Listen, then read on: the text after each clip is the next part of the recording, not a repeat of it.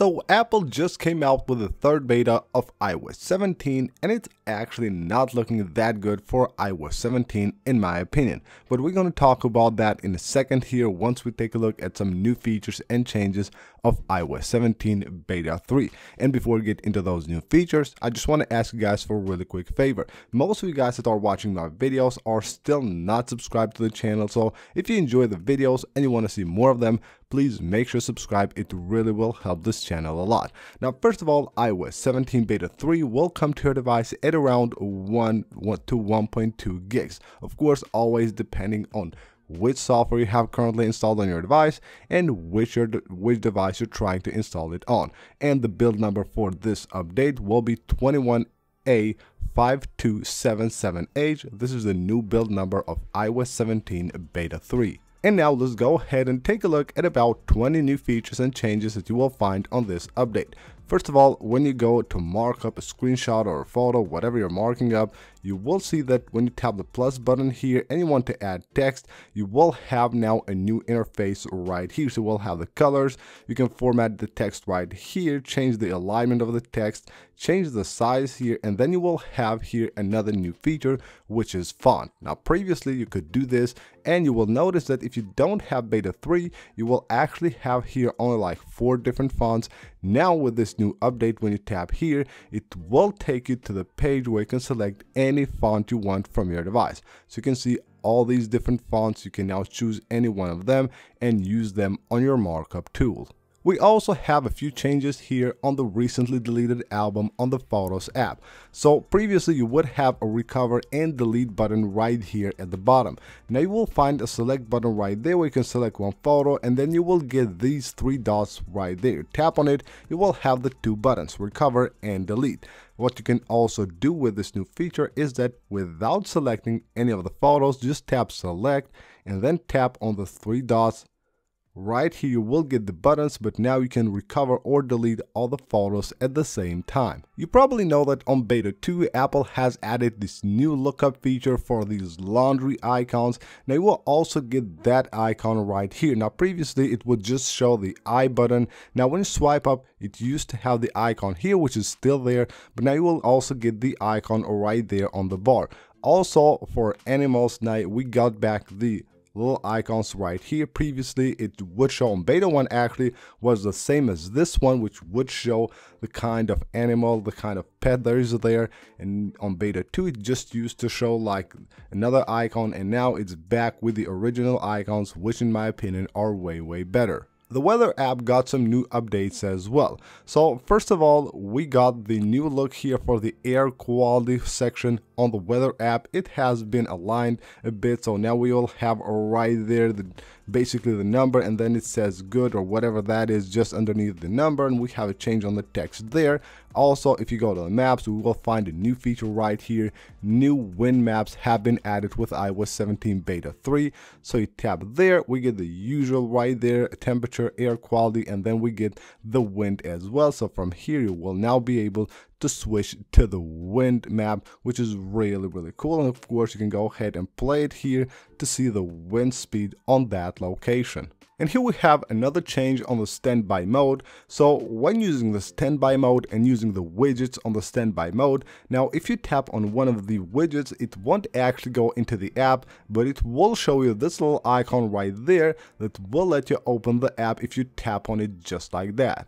The new menu on iMessage got an update as well. It's a small update. When you tap the plus button here, you will have your photos. But now with iOS 17 Beta 3, you won't see an icon there, but you will see your most recent photo. A pretty nice update for the control center. You know with iOS 17 we are finally able to set multiple timers with the stock clock app on iOS.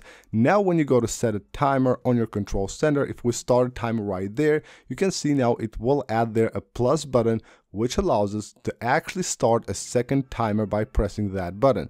Now this won't start the timer on the control center, it will take you back to the clock app from where you can start a second timer. A new feature has been added to the music app as well. We can now view credits for different songs. Now what's really interesting is that from the drop down menu, you will be able to view the credits for individual songs. But if you go to an album and you do that, it won't actually allow you to do that. You can just do it for just like specific songs. You will get the credits at the top of the drop down menu. There is a new change here with the text menu, so on any text if I tab there, we have paste, add link and format in this case on the Notes app and we used to have password and also contacts there, but now we have autofill. When you go there, then it will expand to contacts, password and scan text, so a new autofill button for the text menu.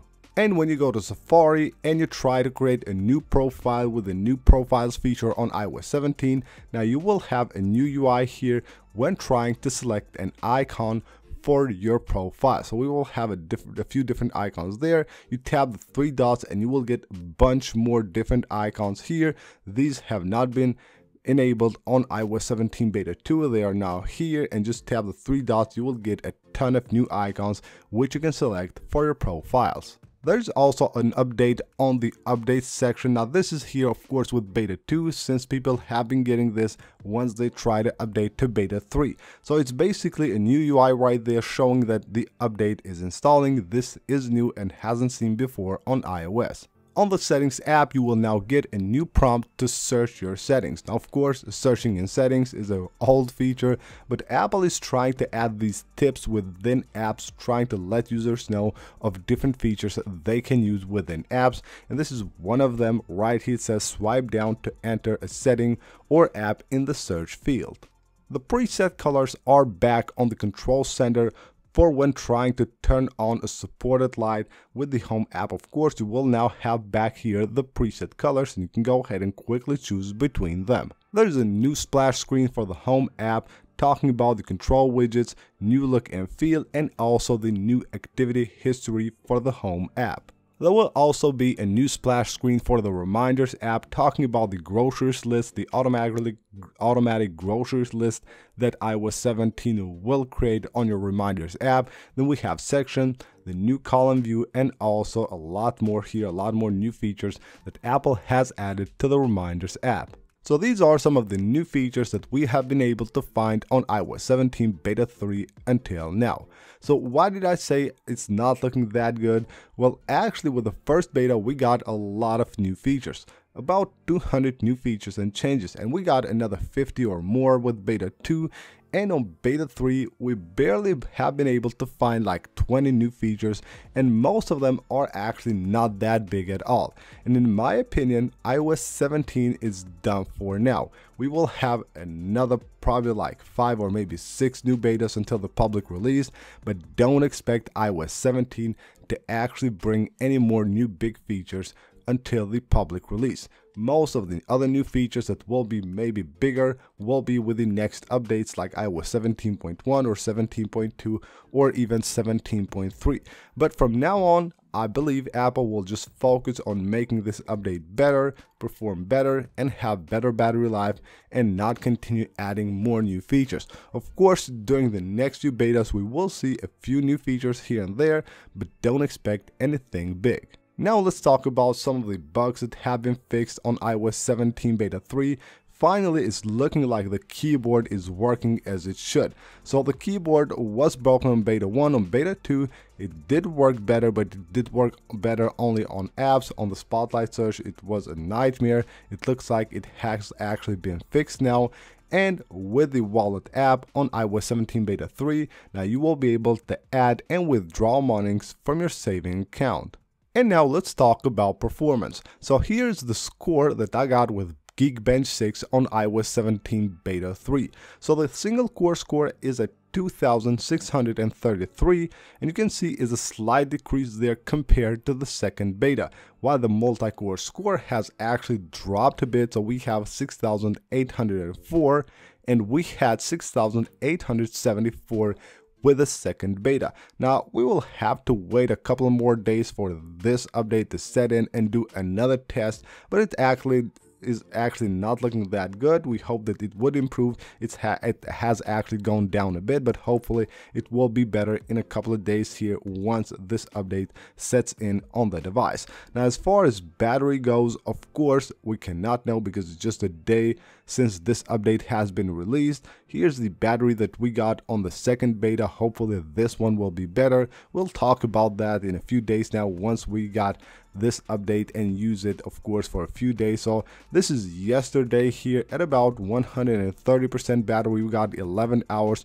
which is actually not that bad. So the last few days with the second beta I got a, bit of better battery life than I used to get on the first few days when I installed the second beta of iOS 17 here we have about 90% battery 8 hours 44 minutes. And keep in mind that this battery is at 92% battery health. So it's not looking that bad. Hopefully it will be way way better with this update. So we can just take a look here at the last day. So with 30% 2 hours 48 minutes on beta 3 so let's wait and see a few more days how this will turn out. Hopefully it will be a bit better than the second beta and now let's move on and talk about the public beta of iOS 17. So the page has been updated here on the Apple's website and iOS 17 public beta is actually coming out really really soon.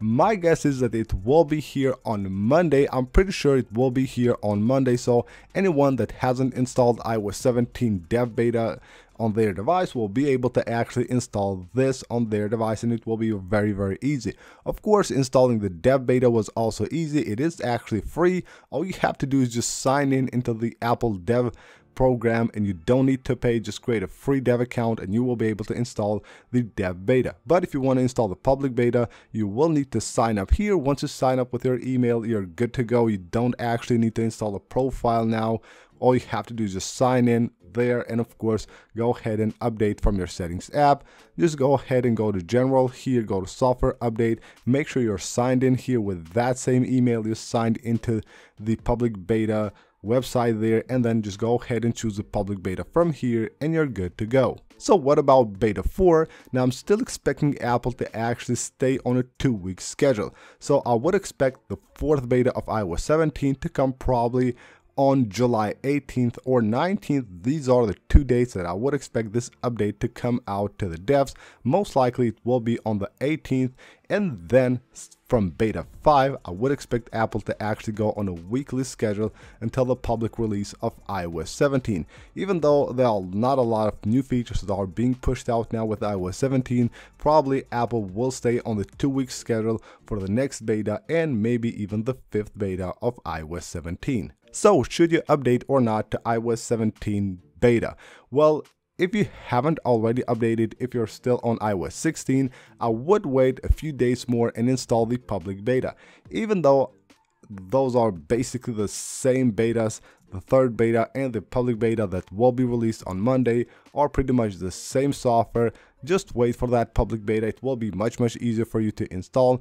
And of course, if you're using just one device, if it's just your daily driver, I would install it. It's not anything actually very, very exciting. So I would wait at least for another couple of weeks or more, or even just wait for the public release of iOS 17. So that is it for this video guys. Hope you guys enjoyed the video. Go ahead, leave a like if you did. Of course, subscribe for more videos.